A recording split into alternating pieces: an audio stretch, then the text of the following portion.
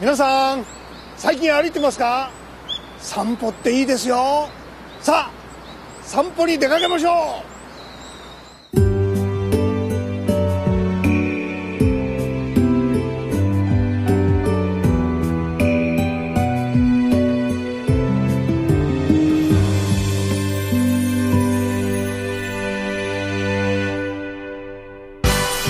週水曜日は隣の駅までの一駅区間を散歩する一駅散歩。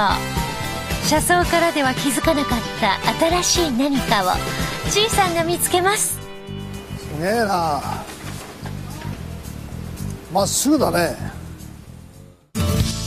この番組はアリコジャパンとご覧のスポンサーの提供でお送りします。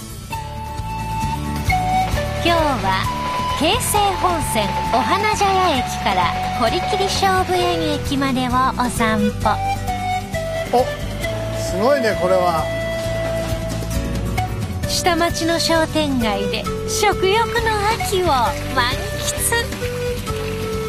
こちらのものは大きいかなと思うでしょそうですよね。そうするともう小さくできないでしょできないです。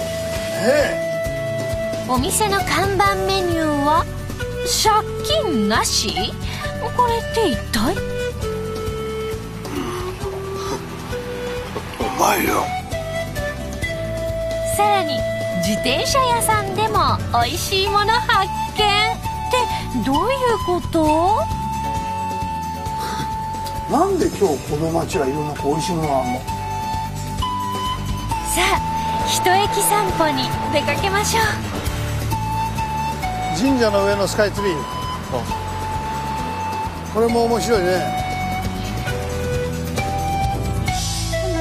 今日は自宅で簡単に学べるパソコン学習ソフトパソトモくんプレミアム3をご紹介